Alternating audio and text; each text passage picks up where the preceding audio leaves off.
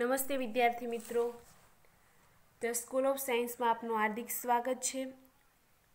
ધોરણ નવ સામાજિક વિજ્ઞાનની અંદર પાઠ સોળનો અભ્યાસ કરી રહ્યા છીએ આબોહવા.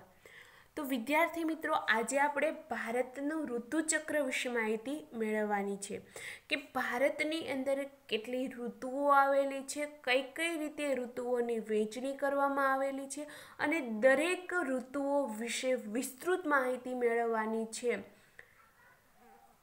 ચાલો અભ્યાસ શરૂ કરીએ.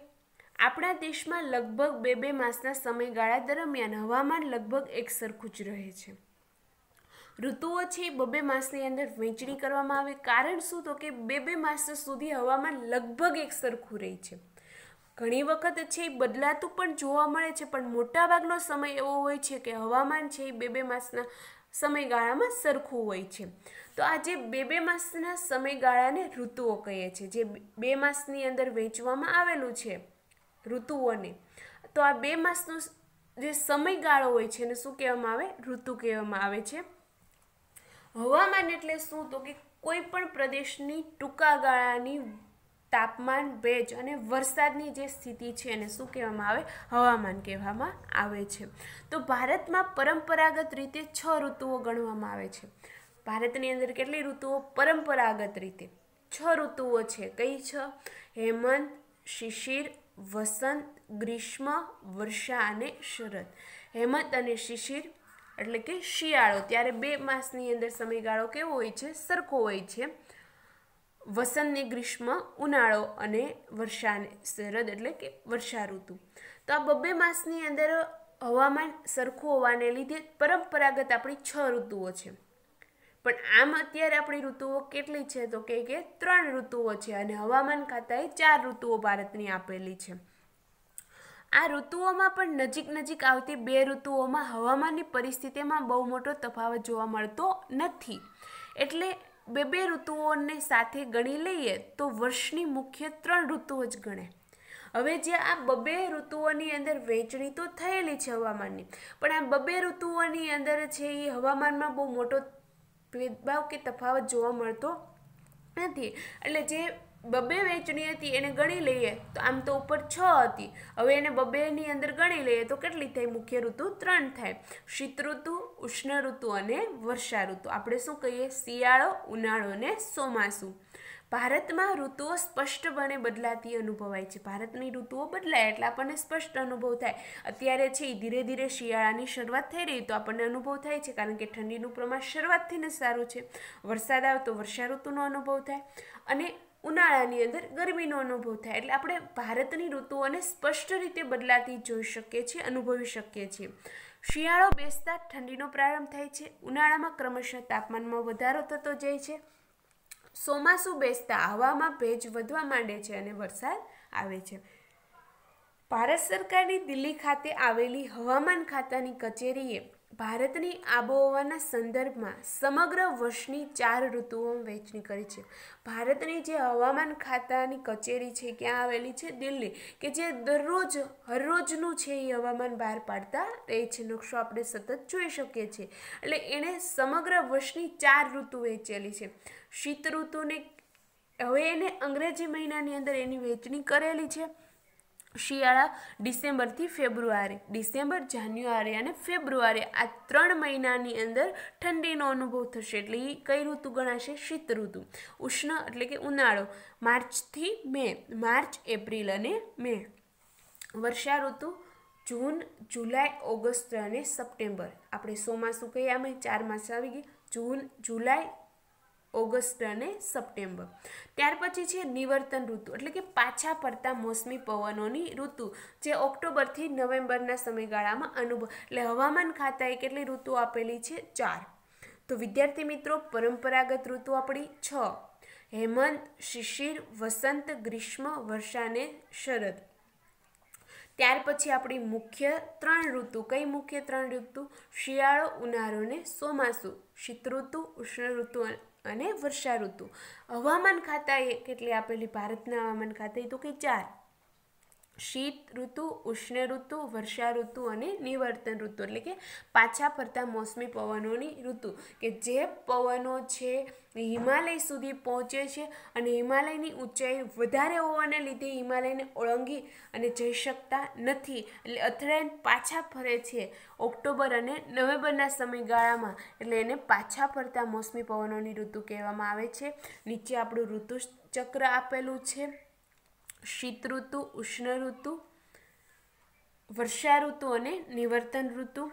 તો પહેલાં આપણે, તો કે ડિસેમ્બર, જાન્યુઆરી અને ફેબ્રુઆરી આ ત્રણ મહિનાની અંદર કઈ ઋતુ હોય છે? શીત ઋતુ હોય છે. આમ તો આપણે ઋતુ ચક્રની શરૂઆત કરવી હોય તો અંદરથી જ કરીએ, શિયાળા, ઉનાળો ને ચોમાસું.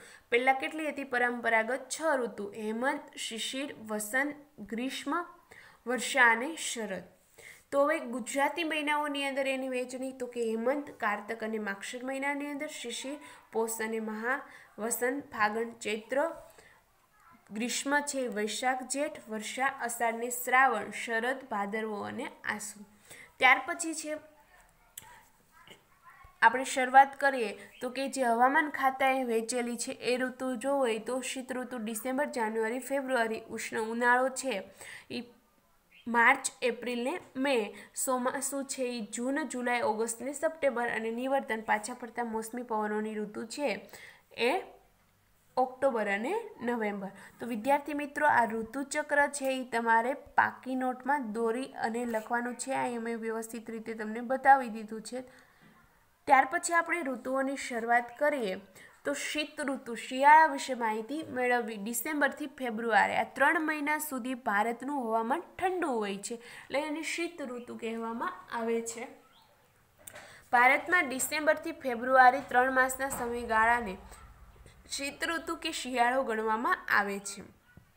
બાવીસ ડિસેમ્બરથી એકવીસ માર્ચ સુધી સૂર્યના કિરણો દક્ષિણ ગોળાર્ધમાં સીધા પડે છે. વિદ્યાર્થી મિત્રો, જ્યારે પાઠની શરૂઆત કરી હતી અને ત્યારે ઋતુ પરિવર્તન વિશે સમજતા હતા, ત્યારે માહિતી આપેલી કે પૃથ્વી પોતાની ધરી પર ફરે છે અને સાથે સાથે સૂર્યની પ્રદક્ષિણા પણ કરે છે.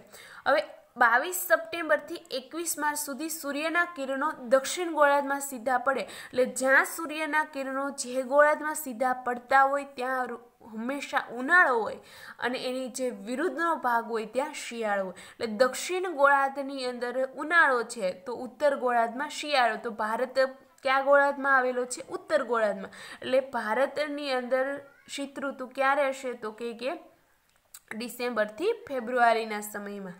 ભારત ઉત્તર ગોળાર્ધમાં આવેલો હોવાથી ડિસેમ્બરથી ફેબ્રુઆરી સુધી સૂર્યના ત્રાંસા કિરણોની અસર હેઠળ રહેવાથી ઓછું તાપમાન અનુભવાય છે. તાપમાનનું પ્રમાણ કેવું હોય છે? ઓછું.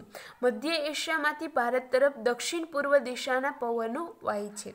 એ સમયે મધ્ય એશિયાથી લઈએ તો ભારતની તરફ દક્ષિણ અને પૂર્વ દિશાના પવનો આવે છે. અને આ પવનો સૂકા અને ઠંડા હોય છે. તેથી વાતાવરણ કે હવામાન કેવું થઈ જાય છે? સૂકું અને ઠંડુ. આ ઋતુ દરમિયાન આકાશ સામાન્ય સામાન્યત વાદળ વગરનું સ્વચ્છ રહે છે. વાતાવરણ કેવું હોય છે? ચોખ્ખું શિયાળાની અંદર. ઉત્તર પશ્ચિમ ભારત પ્રમાણમાં વધુ ઠંડો રહે છે. ઉત્તરની અંદર શું તો કે કે સમશીતોષ્ણ કટિબંધની ઉપરનો વિસ્તાર હોવાને લીધે અને સૂર્યના કિરણો ત્યાં એકદમ ત્રાંસા પહોંચે છે.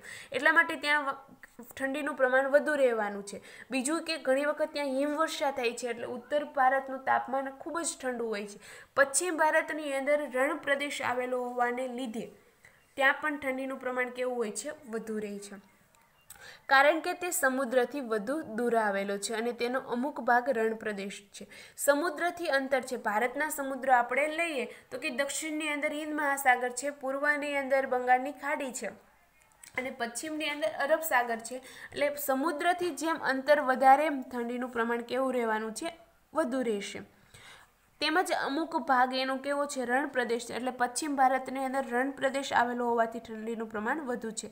શિયાળામાં આ પ્રદેશ ઉપર હવાનું ભારે દબાણ તૈયાર થાય છે. હવાનું કેવું દબાણ હોય છે? ભારે હોય છે. આથી પવનની દિશા બદલાય છે. હવાનું દબાણ ભારે હોવાને કારણે હવા નીચલા સ્થળોની અંદર વધારે અનુભવાતી હોવાને પવનોની દિશા બદલાય છે. અહીંના ભારે દબાણમાંથી ઠંડા અને સૂકા પવનો.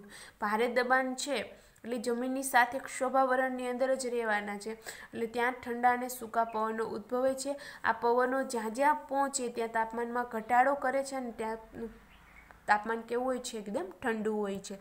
દિલ્હીનું શિયાળાનું તાપમાન ઘણીવાર દસ સેલ્સિયમ કરતાં પણ નીચું જાય છે. શિયાળાની અંદર, દિલ્હીની અંદર દસ સેલ્સિયમ કરતાં તાપમાન નીચું એટલે દિલ્હીમાં ઠંડીનું પ્રમાણ વધુ છે. અલ્હાબાદમાં સોળ સેલ્સિયમ અને કોલકાતામાં અઢાર સેલ્સિયમ તાપમાનની આસપાસ રહે છે.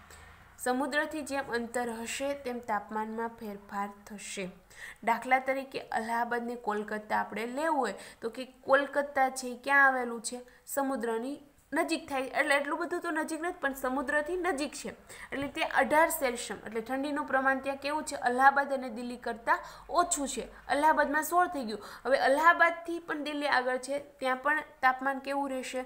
તો કે કે નીચું રહેશે. કારણ શું? તો કે દિલ્હી અને સમુદ્રની વચ્ચે અંતર છે.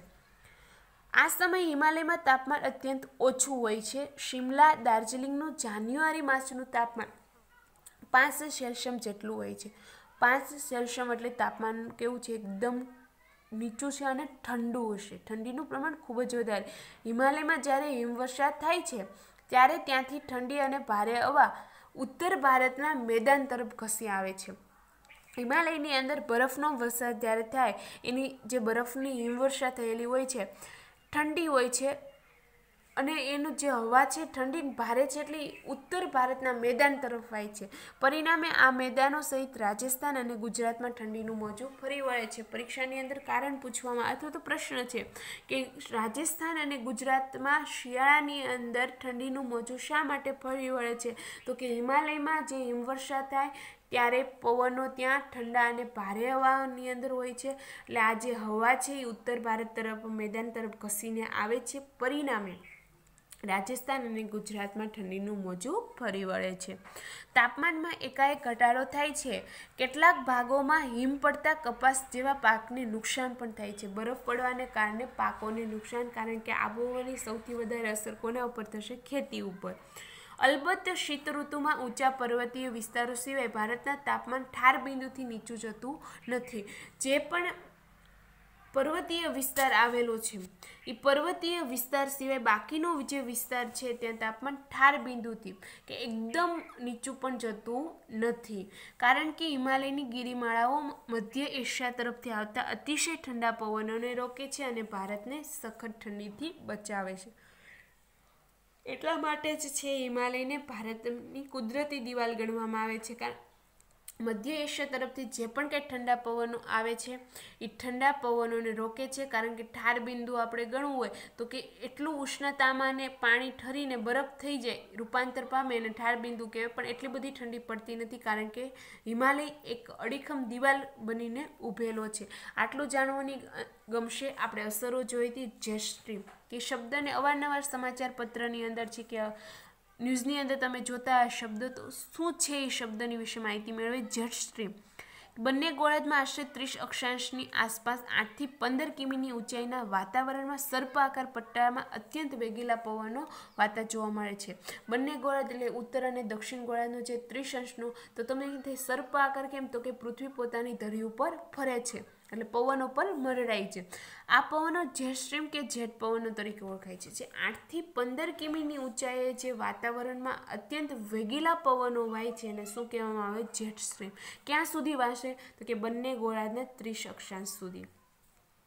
જેટ સ્ટ્રીમની સરેરાશ ઝડપ કલાકના છે એકસો પચાસ કિમી જેટલી છે. કેટલું અંતર કાપી? પવનો એક કલાકમાં એકસો પચાસ કિલોમીટર. આપણે કોઈક જગ્યાએ જવું હોય ને એક કલાકમાં પચ, એકસો પચાસ કિલોમીટરનું અંતર આ ઉદાહરણ છે ખાલી, એકસો પચાસ કિલોમીટરનું અંતર કાપવું હોય તો આપણે પવનની વેગે દોડતા આ એક કલાકમાં એકસો પચાસ કિલોમીટરનું અંતર કાપે, આમ તો શક્ય તો છે જ નહીં એક કલાકમાં એકસો પચાસ આપણે કાપવું. અને આ પવન પટ્ટાની મધ્યમાં પવનોની વેગ ચારસો કિમી જેટલો રહે છે. મધ્ય ભાગની અંદર પવનો કેટલા? ચારસો કિમીની ઝડપે વહે છે. શિયાળામાં આ પવનો હિમાલયના દક્ષિણ ઢળાઓ ઉપર વાય છે. અને ઉનાળામાં તે દ્વીપકલ્પીય ભારત ઉપરથી સ્થિર થયેલો હોય છે. વધુ ઊંચાઈએ વાતા પવનો વરસાદ લાવવામાં મદદરૂપ થાય છે. જે વધુ ઊંચાઈએ વાય એમ વરસાદ લાવવામાં મદદરૂપ થાય. ત્યાર પછી પશ્ચિમી વિક્ષોભ એટલે શું? તો કે પશ્ચિમ એશિયા પર રચાતો જે જેટ સ્ટ્રીમ છે એ પૂર્વ દિશામાં વાય છે. તેની અસર અસર છે એ પશ્ચિમ એશિયાના દેશો, જેમ કે ઉત્તર પશ્ચિમ ભારત, પાકિસ્તાન, અફઘાનિસ્તાન ઉપર પડે છે. ત્યાં ધૂળના તોફાનો છે. બાંગ્લાદેશ સુધી અસર પહોંચાડે છે અને શિયાળામાં ઉત્તર ભારતના આહલાદક હવામાનમાં તે અવારનવાર વિક્ષેપ પાડે છે. એની અસર પહોંચાડે, ખલેલ પહોંચાડે છે. પરિણામે ત્યાં ઊંચા પહાડી પ્રદેશોમાં ભારે હિમવર્ષા તથા મેદાની ભાગોમાં થોડો ઘણો વરસાદ થાય. જે રવિ પાક માટે ખૂબ જ આશીર્વાદરૂપ બને છે અને આના લીધે ક્યારેક ગુજરાતમાં કમોસમી વરસાદ પડે છે જે ખેતી પાકને નુકસાન કરે છે પશ્ચિમી વિક્ષોભના કારણે. શિયાળા દરમિયાન ઉત્તર ભારત કરતાં દક્ષિણ ભારતની પરિસ્થિતિ જુદી છે. એક જ ભારતની વાત થઈ છે બે ભાગોમાં ઉત્તર અને દક્ષિણની અંદર, કે એક દિશ, એક ઉત્તર ભાગની અંદર છે એ ઠંડીનું પ્રમાણ ખૂબ જ વધારે છે, તો દક્ષિણ ભાગની અંદર સામાન્ય સ્થિતિ છે. કારણ સમજાવો હમણાં, દક્ષિણ ભારત ઉષ્ણકટિબંધમાં આવેલો છે. ઉત્તર ભારત છે એ સમશીતોષ્ણ કટિબંધની ઉપર છે, જ્યારે દક્ષિણ ભારત ઉષ્ણકટિબંધમાં છે. વિષવવૃત્તની નજીક છે તથા દ્વીપકલ્પી આકાર ધરાવે. ત્રણેય બાજુ સમુદ્રો આવેલા છે. તેના અંદરના ભાગમાં આવેલા પ્રદેશો સમુદ્રથી વધુ દૂર નથી. સમુદ્રની નજીક છે. સમુદ્રની નજીક જે પ્રદેશ હોય ત્યાં ઠંડીનું પ્રમાણ ઓછું હોય, ગરમીનું પ્રમાણ ઓછું હોય અને વરસાદનું પ્રમાણ વધારે હોય. શિયાળા, અહીં શિયાળામાં ઉત્તર ભારત જેવી કાતિલ ઠંડી અનુભવાતી નથી. વધારે ઠંડી પડતી નથી, હિમવર્ષા પણ દક્ષિણ ભારતમાં થતી નથી, તાપમાન પણ ઘણું નીચું જતું નથી. દાખલા તરીકે, જાન્યુઆરી માસમાં કોચીનું તાપમાન છવ્વીસ સેલ્સિયમ, દક્ષિણ ભારતના પ્રદેશો આપેલા છે. મદુરાઈનું પચીસ સેલ્સિયમ અને ચેન્નઈનું તાપમાન ચોવીસ સેશન હોય છે. એક આપણે વાત કરી, ઉત્તર ભારતની વાત કરી, તો કે ઉત્તર ભારતની અંદર, દાર્જિલિંગની અંદર જાન્યુઆરી માસનું તાપમાન છે પાંચ સેલ્સિયસ હોય છે. અને દક્ષિણ ભારતની અંદર કોચી છવ્વીસ સેલ્સિયમ, મદુરાઈ પચીસ સેલ્સિયમ અને તાપ, ચેન્નઈનું ચોવીસ સેલ્સિયમ. એટલે ત્યાં ઠંડીનું પ્રમાણ ઓછું છે. જોકે દક્ષિણ ભારતના પહાડી સ્થળો શિયાળામાં નીચા તાપમાનનો અનુભવ, જે પહાડી છે વિસ્તારો આવેલા છે, ત્યાં ઠંડીનો અનુભવ થાય છે. દક્ષિણથી ઉત્તર તરફ જતાં તાપમાનમાં ઘટાડો થતો જાય છે. દક્ષિણ દિશાથી જેમ તમે ઉત્તર દિશા તરફ આગળ વધો, એમ તાપમાનમાં ઘટાડો થતો જાય, ઠંડીનો અનુભવ વધારે થતો જાય. ભારતમાં શિયાળો ખૂબ જ સ્ફૂર્તિદાયક અને આરોગ્યવર્ધક હવામાનનો ઋતુગાળો ગણાય છે. ભારતની અંદર શિયાળો ખૂબ જ સ્ફૂર્તિદાયક હોય છે. અને આરોગ્ય આરોગ્ય માટે પણ સારો એવો હવામાનનો સમયગાળો છે. લાંબી અને ઠંડી રાત્રિને કારણે વહેલી સવારે ઝાકળ અને ધુમ્મસ ઘણા ભાગમાં અતિ સામાન્ય છે. રાત્રિ લાંબી હોય છે અને દિવસ ટૂંકો હોય છે. રાત્રિ લાંબી હોય છે અને ઠંડી પણ હોય છે એટલે વહેલી સવારે ઝાકળ અને ધુમ્મસ મોટાભાગે જોવા મળે છે. દિવસો ટૂંકા અને રાત્રિ લાંબી હોય છે. શિયાળામાં જમીન પરથી વાતા સૂકા પવનો સામાન્ય રીતે વરસાદ લાવતા નથી. જે જમીન ઉપરથી પવનો વાય છે તે વરસાદ લાવતા નથી, પરંતુ ઉત્તર પૂર્વના મોસમી પવનો બંગાળની ખાડી ઓળંગીને આવતા હોવાથી ભેજ લઈને આવે છે. ઉત્તર પૂર્વ બાજુથી જે પવનો આવે છે તે બંગાળની ખાડી ઓળંગી આવે છે, એટલે ભેજ લઈને સાથે લાવે છે. આ ભેજવાળા પવનો કોરોમંડલ તટ ઉપર વધુ વરસાદ આપે છે. જે દક્ષિણ ભારતનો વિસ્તાર છે કોરોમંડલ તટ, ત્યાં વરસાદનું પ્રમાણ વધુ હોય છે. ઉત્તર પૂર્વ ભારતમાં પશ્ચિમી વિક્ષોભ તથા વંટોને લીધે થોડો ઘણો વરસાદ પડે. જો પશ્ચિમી વિક્ષોભ રચાય તો ઉત્તર ભારતમાં વરસાદ થાય. પંજાબ તથા હરિયાણામાં વરસાદ રવિ પાક માટે ખૂબ જ અનુકૂળ છે. આ વર્ષે વરસાદ કમોસમી ગુજરાતમાં એ વરસાદ કહેવામાં આવે. આ વરસાદ પાછો પંજાબ અને હરિયાણામાં રવિ પાક માટે ખૂબ લાભદાયક છે. આ પવનો ક્યારેક ગુજરાતમાં પણ વરસાદ આપે છે. કસમયે પડતા વરસાદને કમોસમી વરસાદ કહીએ કે માવઠું કહેવામાં આવે છે. કમોસમી વરસાદ એટલે શું? તો કે કસમય, સમય વગરનો જે આવે વરસાદ એને શું કહેવાય? કમોસમી વરસાદ. ત્યાર પછી જે આપણે આગળ જેટ સ્ટ્રીમ અને પશ્ચિમી વિક્ષોભ વિશે ભણ્યા તેમ બે શબ્દ અલ્લીનો અને આઈટીસી ઝોન. અલ્લીનો સ્પેનિશ ભાષાનો શબ્દ છે. કયા ભાષા પરથી? તો કે સ્પેનિશ. એનો અર્થ શું થાય? નાનું બાળક. આ નામ પેરુના માછીમારીઓ બાર ઈસુના નામ પરથી આપેલ છે. દક્ષિણ અમેરિકાનો જે માછીમારો છે પેરુ દેશના, ત્યાં માછીમારો છે એ બાળ ઈસુના નામ પરથી આ અલ્લીનું નામ આપેલું છે. એનું નામ થાય નાનું બાળક. કારણ કે સામાન્ય રીતે તેનો પ્રારંભ નાતાલની આસપાસ જોવા મળે. અલ્લીનો ક્યારે સર્જાતું હોય તો કે નાતાલની આસપાસ, એટલે કે ડિસેમ્બર મહિનાની અંદર.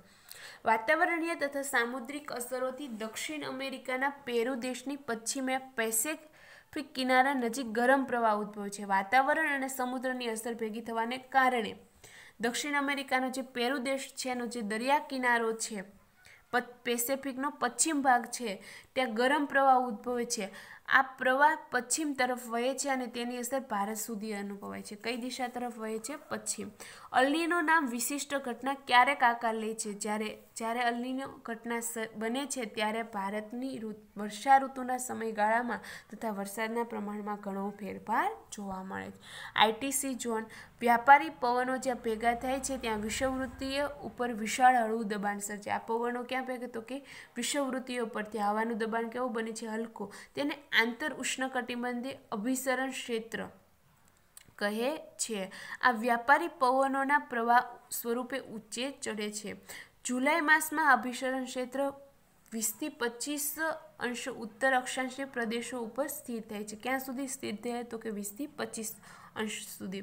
ભારતમાં તે ગંગાના મેદાન ઉપર કેન્દ્રિત થાય છે. તેના લીધે અહીં રચાતા હળવા દબાણ ક્ષેત્રને લીધે દક્ષિણ ગોળાર્ધના મહાસાગરો ઉપર ઉદ્ભવેલા પવનો ઉત્તર તરફ વાય છે. હવે એ હળવું દબાણ હોવાને કારણે ગંગાના મેદાન પર પવનો કેન્દ્રિત થઈ જાય છે અને દક્ષિણ ગોળાર્ધની અંદર પવનનો ઉદ્ભવ થાય છે. આ પવનો ઉત્તર દિશા તરફ આવે છે. ઉત્તર દિશા તરફ આવતા હોવાને લીધે સમુદ્રમાંથી વાય છે એટલે ભેજનું પ્રમાણ છે અને આ ભેજમાંથી આવતા હોવાથી ભારતમાં વરસાદ આપે છે. શીત ઋતુ દરમિયાન અભિસરણ ક્ષેત્ર વધુ દક્ષિણમાં ખસે છે. શિયાળો પૂરું થઈ જાય એટલે વધારે પાછું દક્ષિણ દિશામાં જાય, જેના લીધે પવનોની દિશા ઉત્તર પૂર્વની થઈ જાય છે. તો વિદ્યાર્થી મિત્રો, આજનું હોમવર્ક તમારું છે ભારતની શીત ઋતુ એટલે કે શિયાળા વિશે નોંધ લખવાની છે. પ્રશ્નનો જવાબ પાકી નોટમાં લખી અને પાકો પણ કરવાનો છે. બીજો પ્રશ્ન છે, હિમાલય ભારતનું રક્ષણ કરતી કુદરતી દિવાલ છે. કઈ રીતે? ત્રીજો પ્રશ્ન, વ્યાપારી પવનોની સમજ આપવાની છે. ભારતીય હવામાન ખાતાએ ભારતની ઋતુઓને કેટલા અને કયા કયા વિભાગમાં વહેંચણી કરી છે એ પણ પ્રશ્નનો જવાબ તમારે લખવાનો છે. અસ્તુ, જય હિન્દ, જય ભારત.